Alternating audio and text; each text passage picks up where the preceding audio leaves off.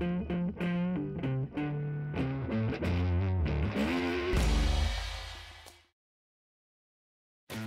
Blue drivers, is it time for you to change the coolant in your vehicle? This is Jim and Chris. We're on a 2009 Chevy Impala 3.5 liter. Today, we're going to show you how to change the coolant in your car. Chris. This car's had a hard life. It used to be a rental. It's been driven around for 10 years, covered in snow and salt. And from the looks of it, we don't think the coolant's ever been touched. So today we're going to take care of that. And we'll show you how to do it yourself and save some money. So let's get to it. This is a pretty simple tool list because there are no tools. The pan, the coolant, a funnel, and a tarp. All right, so step one is to drain the coolant out of the car. First thing we're gonna do is we're gonna remove the coolant fill cap. Now you wanna make sure you never do this when the car is hot and there's a risk of getting burned. Uh, and even then it's a good idea just to use a rag or something to remove the cap. So the cap on this car is not actually on the radiator, it's on the engine right here. So we'll just take that off.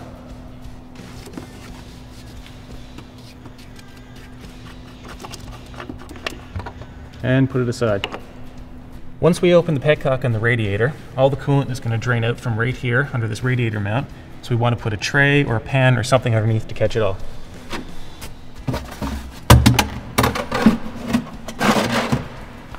That is one fancy pan.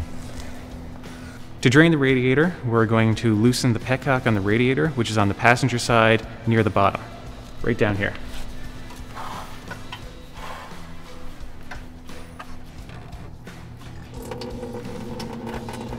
Chris, do you need to use such a fancy pan?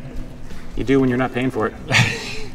I use a milk jug with the top cut off and I stop it midway. Yeah, I guess that works too. Uh, Some Impalas will have a vent valve on the radiator on the driver's side over here. This car doesn't have one, so we don't have to remove it. But just check to see if your car does have this valve, and if it does, you can just pull it out.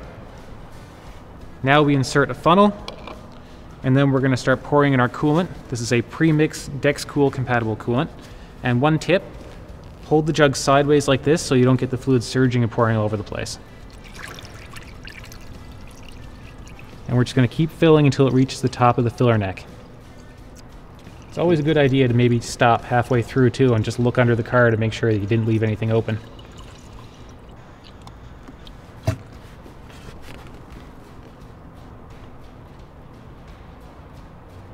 Now we'll just wait a second and some air will probably come out of the system. If you want, you can also gently squeeze a hose, uh, not too hard or you might spray coolant out. And this can also help get some air out of the system. You can see the bubbles there.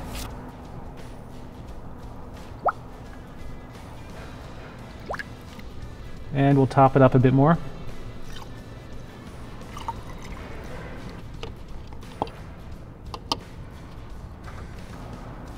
For the next step, we're going to have to start the engine. So we're going to take the coolant filler cap, we're going to put it on, but we're only going to engage it a little bit, just enough that it doesn't come off. And why aren't you putting it on there tight, Chris? The big thing is where we're going to be starting the engine. If we leave it running too long and the thermostat opens, everything's going to heat up, the cooling system's going to build pressure, and if the cap's on tight, when you try to remove it, that pressure's going to come out explosively and spray hot coolant over the place. Okay, we're going to start getting the air out of the system. This time we're going to start the car and run it at 2500 RPM for 40 seconds.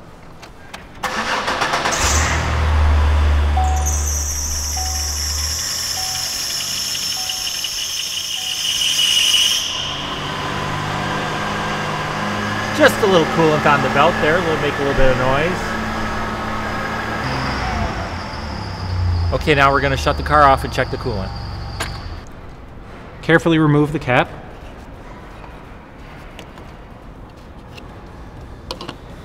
And top up the coolant.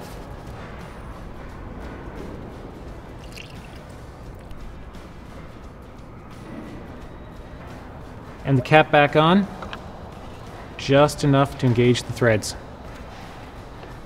Okay, we got quite a bit of air out of the system. This time we're going to start, run at 2500 RPM, this time for 30 seconds.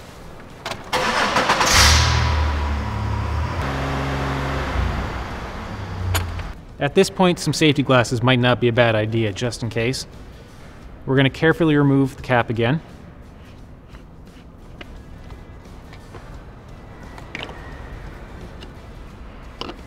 and top it up. One last time, we'll put the cap on just enough to keep it from falling off. Okay, we're gonna restart again, got just a little bit more air out of it. This time we're gonna start and run at 2,500 RPM for 20 seconds.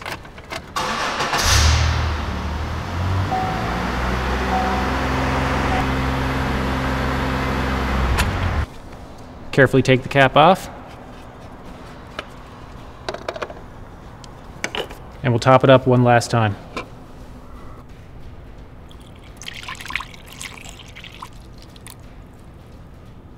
You see this time, it didn't take much to fill it up. Now we're going to fill the coolant bottle, about 400 milliliters of coolant.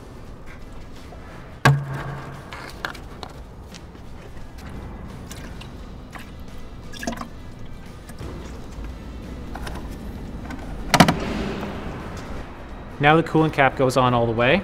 Remember, from this point on, the system could be under pressure, so we don't want to take the cap off unless the engine's completely cool.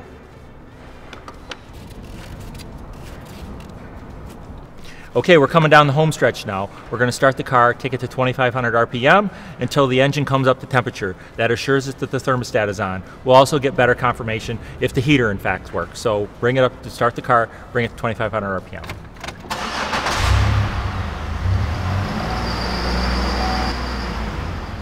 Okay, we have the car up to temperature now. Heater's nice and warm. So the very final step, take it to 3000 RPM for four seconds, back to idle for four seconds. We're gonna do this three times.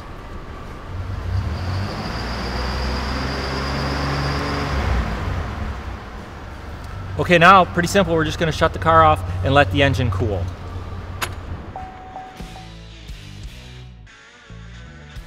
Now everything's nice and cool. You can see the coolant level in the bottle has dropped a little bit, so we're just going to top that up.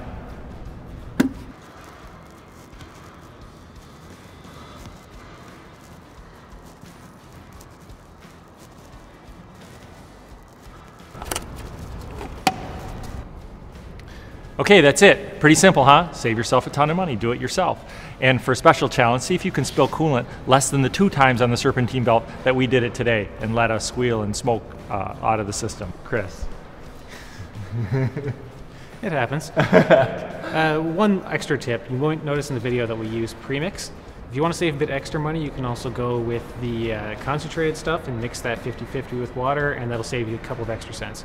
That's a great tip, Chris. And for more great tips, come to bluedriver.com. And for this video, you can like it and even subscribe to our channel on YouTube because we got great stuff coming at you all the time. Until next time, fear no fix.